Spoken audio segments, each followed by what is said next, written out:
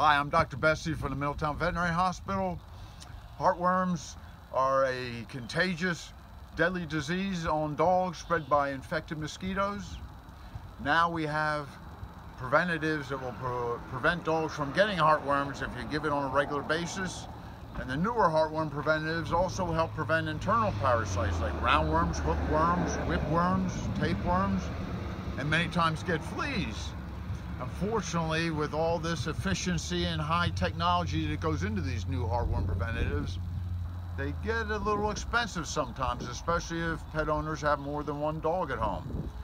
So we're happy to celebrate here at Middletown Veterinary Hospital our 20th anniversary of our heartworm clinic with reduced prices. Can't be beat on heartworm preventatives, heartworm tests.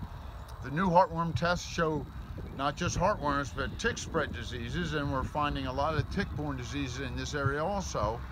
But this weekend, heartworm preventative prices can't be beat.